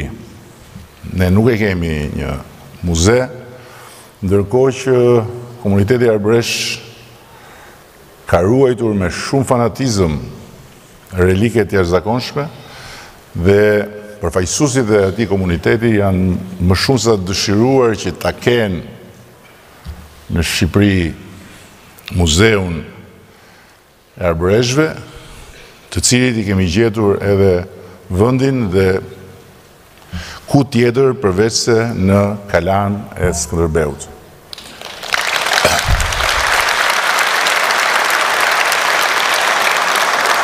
Dhe janë Një sërë idesh të tjera me të cilat nuk do t'ju marr kohë sot, që nga këto më institucionale dhe më të mëdha, deri tek ato që i japin jetë kësaj marrëdhënie në nivele të ndryshme njerëzore, që nga ditët e verës kemi bërë një ditë të parë të verës, të verërave, duke çuar disa nga prodhuesit e verërave tona në Arbëri dhe do të ndërtojmë edhe për këtë një kalendar për t'i lidhur bashkë prodhuesit sepse në fund fundit janë të gjitha vera shqiptare ato që prodhohen këtu nga prodhuesit tanë dhe ato që prodhohen në Itali nga prodhuesit arbëreshë.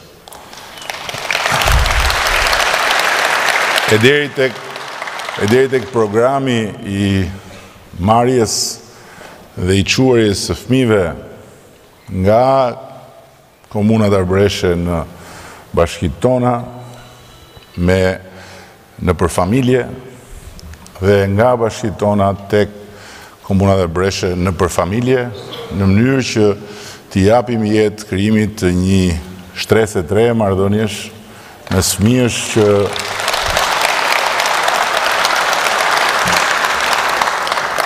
njohin njëri-tjetrin, dhe njohin historinë e tyre të përbashkët, por të ndarë në kapituj të ndryshëm, përmes kontaktit të drejtpërdrejtë.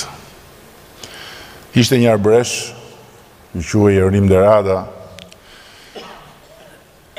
Në një nga veprat e tij, Flamuri i Arbrit, ai që pyeti përpara të gjithë të tjerëve se çfarë i duhet Shqipërisë, ç'i duhet Shqipërisë, dhe ishte ai që u përgjigj se çka i duhet Shqipërisë është bashkim dhe demokraci. Dhe i frymëzuar prej tij, Ernest Koliqi elaboroi më tutje Duke shkruar se nëpër poezi e apostullatë të Jeronim de Radës, arbëreshët e Italisë kryen atë vepër të mistershme shpërblimi njerëzor e kombëtar, kur në një stinë stuhie e tmerri, lanë brigjet e atdheut dhe mërguan në një vis të huaj. Ata morën në dorëzim amanetin e Skënderbeut dhe bashkë me të ëndrrën e një Shqipërie të lirë, e një Shqipërie që siç do të thoshte Ismail Kadareja, në kohën e arbëreshve ishte një Shqipëri kalorësiake. dhe e cila pastaj ia la vendin një tjetër Shqipërie për shkak të një pushtimi të gjatë. Por arbëreshët e morën me vete Shqipërinë kalorësiake, e ruajtën të gjallë me shumë fanatizëm atë identitet të vjetër dhe ia dolën për kaq shumë shekuj. Për ne ka një rëndësi të madhe që po ashtu ta shikojmë edhe më thellë këtë thesar tek Vepra dhe trashëgimia e atyre profesorëve të shquar, ndër të cilët dy prej tyre sot u nderuan me shqiponjën e artë, po nuk janë vetëm dy, janë shumë më tepër, sepse është një kontribut i jashtëzakonshëm në një nivel tjetër akademik, shkencor, për të cilin qysh prej vitit dy mijë e njëzet Shqipëria ka dedikuar edhe Qendrën e Studimeve dhe Publikimeve për Arbëreshët, çka është pjesë e strategjisë tonë kombëtare për diasporën. Dhe për të mos u zgjatur më tutje, kur i kërkuan të përshkruajë veten, Një kryeministër i famshëm i Italisë, Francesco Crispi, shok i Garibaldit, shok i Mazzinit dhe i Bismarkut, arbëresh, I lindur pranë Horës së Arbëreshëve, tha për veten e tij, Maja Etnës e patrazuar nën shtrojen e borës që ndizet përbrenda nga llava e një materie shekullore. Dhe besoj që më shumë dhe më bukur se kaq Nuk mund ta përshkruajë askush veten e arbëreshve. E për ne është shumë e çmuar ajo llavë materie shekullore nën atë majën e Etnës dhe duke Më dëgjuar mua shpresoj që arbëreshët këtu të pranishëm mos kenë pëshpëritur atë shprehjen e tyre të famshme s'janë arra sa trokullnjen që do të thotë jo të gjitha këto që po thua janë të vërteta dhe uroj shumë që së bashku Të bëjmë shumë çka që duhet bërë patjetër dhe nuk mund ta lëmë pa bërë, duke marrë shembull nga energjia dhe nga kurora juaj që kurrë nuk fishket dhe ju falënderoj shumë përunjësisht juve që jeni këtu, Falënderoj nga këtu të gjithë ata që na mikpritën dhe na mikpresin sa herë që shkojmë në Arbëri. Duke e mbyllur këtë fjalë me lutjen e Arkimandrit Minishit të abatësisë së Arbëreshëve në Grota Ferrata. Shumë zira kanë shkputur zemrat e popullit tonë, shumë lot kanë rënë dhe kanë njomur tokën e Shqipërisë, bëftë Perëndia që nga ajo tokë e vaditur të lëshojnë përjetë lulet e lirisë, mirësisë E dashurisë dhe vëllazërisë, gëzimit dhe pajtimit. Shumë faleminderit.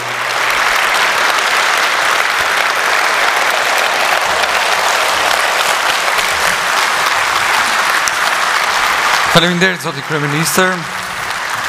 Por më lejoni të konfidoj se shqiponja e artë, një krijim i juaj, Nuk mund të kalojë pa u dorëzuar edhe nga ju. Se për kë, ju e dini dhe e ndjeni po aq sa çdo shqiptar me zemër.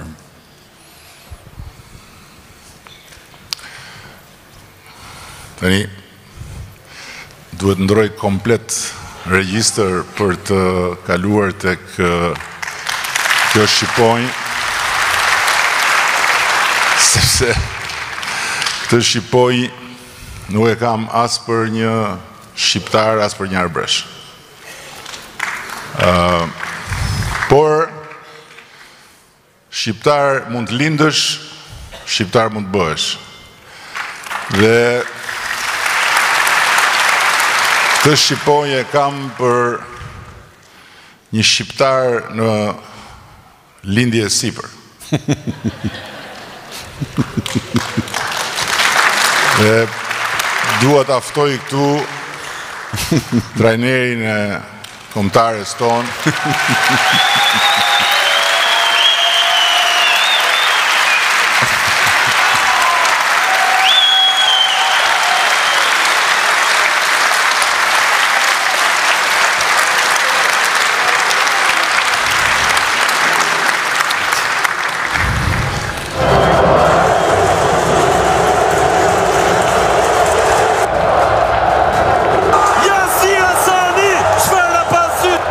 për emocionin e papërshkrueshëm, për krenarinë kombëtare, për talentin dhe punën që bëjnë bashkë miliona shqiptarë.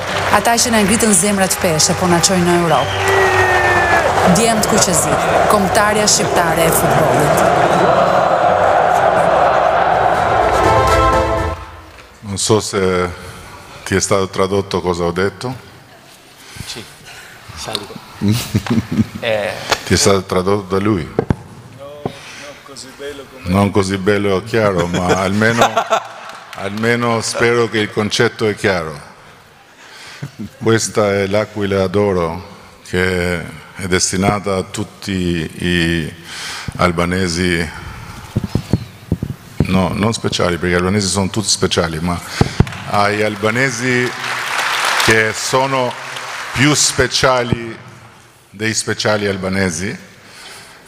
E eh, tu sei il primo non albanese a prendere l'aquila d'oro dei albanesi, ma non perché eh, tu hai fatto tutto quello che hai fatto, ma perché, come ho detto qui, tu sei un albanese che sta nascendo. Eh, ti do l'aquila. La, e ti, ti mm, annuncio che molto presto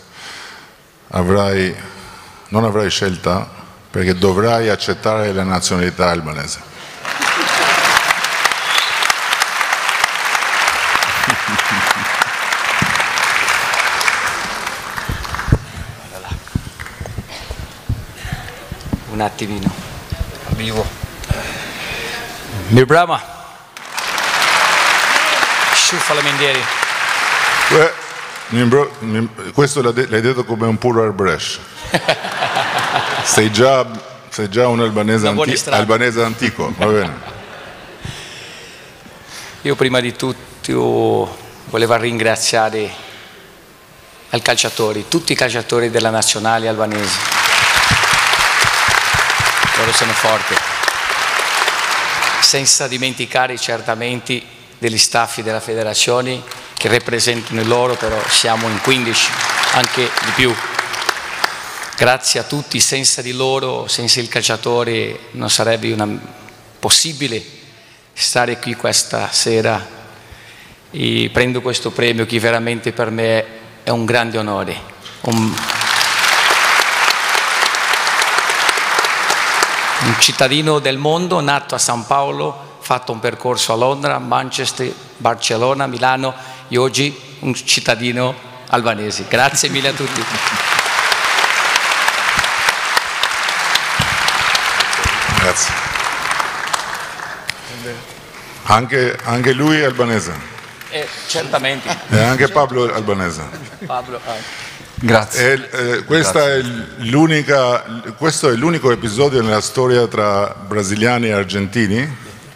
hai visto cosa hanno fatto ieri? Si sono menati a vicenda?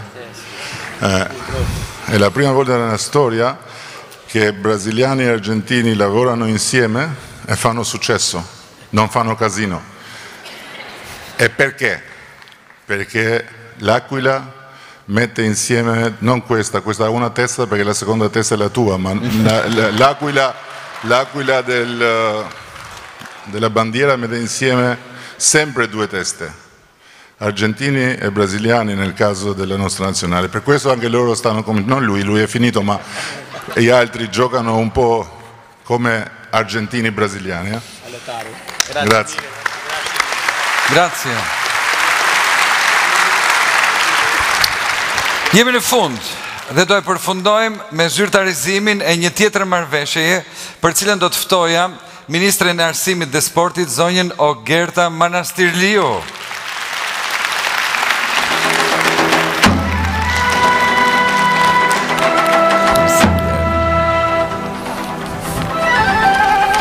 Përshëndetje të gjithëve. Jam vërtet shumë e nderuar që të përcjell tek ju këtë komunikat, deklaratë, Në përfundim të kësaj dite, ditës së Arbëreshëve, një ditë historike. Të mbledhur sot, më datë njëzet e dy nëntor dy mijë e njëzet e tre, në Tiranë, në ditën e Arbëreshëve, Samiti i tretë i Diasporës, nën kujdesin e Kryeministrit të Republikës së Shqipërisë, Edi Rama, përfaqësues të rajoneve italiane ku shtrihet komuniteti arbëresh, Puglia, Calabria, Basilicata, Abruzzo, Sicilia, Molise dhe Campania, përfaqësues të komunave arbëreshe në të gjithë territorin italian, akademikë, studiues, publicistë, gazetarë, artistë dhe shkrimtarë, aktorë publikë dhe privatë, Sipërmarrës dhe shumë qytetarë italianë arbëreshë, diskutuam dhe celebruam Ditën Arbëreshe. Këtë thesar të paçmuar të popujve dhe vendeve tona, me dëshirën dhe synimin për t'u angazhuar edhe më fort edhe për të gjetur rrugë të reja, që do të duhet të përshkrojmë që kjo pasuri të trashëgohet ruhet dhe zhvillohet me dashuri dhe përkushtim për brezat që do të vijnë dhe i drejtohemi kështu Presidentit të Republikës Italian, Shkëlqesisë së Tij, zotit Sergio Mattarella, Presidentit të Senatit të Republikës Italiane, Senator Ignazio La Russa. Presidentit të Dhomës së Deputetëve të Republikës Italiane, të nderuarit Lorenzo Fontana, Presidentit të Këshillit të Ministrave të Republikës Italiane, Shkëlqesisë së saj, Giorgia Meloni. Miqësia dhe bashkëpunimi i ngushtë mes Shqipërisë dhe Italisë rrjedh nga një marrëdhënie historike mes popujve tanë. ku një vend të pazëvendësueshëm zënë arbëreshët e Italisë. Ky shkëmbim i vazhdueshëm në shekuj mes kulturave dhe qytetërimeve shqiptare dhe italiane është mbështetur dhe frymëzuar gjithmonë nga drita e shejzave arbërore, e cila edhe në kohët më të errëta për kombin shqiptar rrezatoi duke ngjallur shpresë e dashuri për mëmëdheun. Shqiptarë për nga origjina dhe italianë prej më shumë se pesëqind vjetësh, gjaku ynë i shprishun, ruajti me krenari gjuhën e të parëve, traditat arbërore, figurën e Gjergj Kastrioti Skënderbeut dhe ritet fetare, duke dhënë në të njëjtën kohë, me kurajo dhe idealizëm, një kontribut të rëndësishëm në lindjen dhe bashkimin e Italisë dhe po aq në rilindjen dhe pavarësinë e Shqipërisë. Falë kujdesit dhe vëmendjes së shtetit italian, arbërishtja renditet mes gjuhëve të mbrojtura nga Kushtetuta. Ne vlerësuam Ligjin katërqind e tetëdhjetë e dy një mijë e nëntëqind e nëntëdhjetë e nëntë për pakicat gjuhësore në Itali dhe çështjet për zbatimin e tij në rastin e gjuhës arbëreshe. Përshëndesim dhënien e hapësirës në RAI të transmetimit të emisioneve radiofonike dhe televizive në gjuhën arbëreshe dhe e vlerësojmë si hap tjetër domethënës në mbrojtje dhe promovim të kulturës arbëreshe.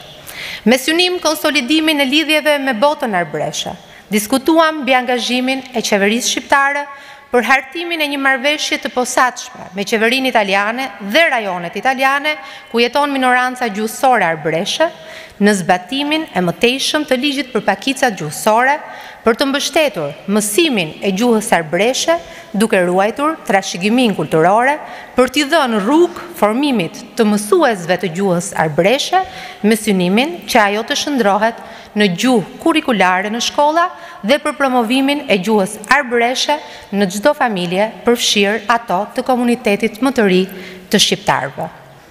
Bashkëpunimi akademik dhe universitar duhet të shkojë përpara për të forcuar katedrat e gjuhës dhe letërsisë shqipe në të gjitha universitetet, laboratorë të mirëfilltë të shkencës albanologjike dhe për çeljen e qendrave të tjera. Sistemi ynë arsimor duhet të kontribuojë për të mundësuar krijimin e një shkolle për të mbajtur gjallë gjuhën dhe kulturën tonë të përbashkët. Bashkëpunimi mes aktorëve të shoqërisë civile është një vektor tjetër që synohet të orientohet drejt forcimit të lidhjeve mes Arbërisë italiane dhe Shqipërisë dhe hapësirës shqipfolëse në Ballkan. Shqipëria dhe Arbëreshët do të angazhohen për të gjetur rrugë dhe instrumente të reja që nxisin jo vetëm transmetimin ndër breza të gjuhës, artit dhe kulturës arbëreshe, por edhe për të vendosur dhe konsoliduar lidhjen mes arbëreshëve dhe komunitetit më të ri të shqiptarëve të Italisë. Synohet koordinimi i veprimit të Akademive të Shkencave të vendeve të rajonit të Ballkanit për zhvillimin e një programi të përbashkët po ashtu, edhe ndërveprimi i dhomave të tregtisë dhe industrisë me ato arbreshe, si dhe turizmi historik, kulturor dhe ai shkencor. Le të konsiderojmë bashkëpunimin e deritanishëm mes institucioneve dhe mjediseve akademike për regjistrimin e iniciativës Moti i Madh në listën e UNESCO-s, si hapin e parë të këtij angazhimi që do të formësohet me një marrëveshje të posaçme dhe do të vijojë edhe me marrëveshje të tjera bashkëpunimi në të gjithë sektorët me interes për të dyja palët. Do të doja këtu të ftoja për të firmosur këtë deklaratë, komunikatë, kryeministrin, të pranishmit dhe përfaqësuesit e komunitetit arbëresh. Faleminderit.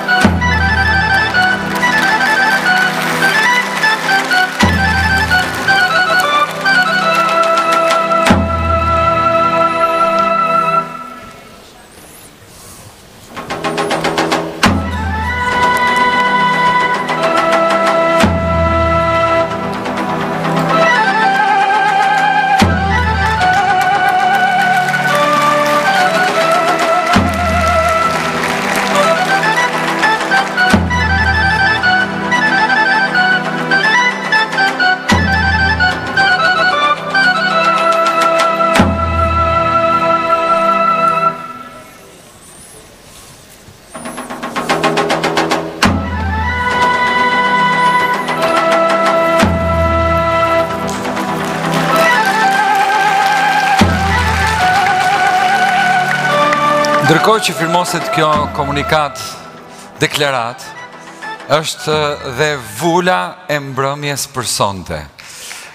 Ne do të shihemi nesër në ditën e zhvillimit të sesioneve të samitit të diasporës dhe duke ju falenderuar që ishim sonte së bashku, le të urojmë edhe një herë për festat që janë në prag. Gëzuar Shqipëri!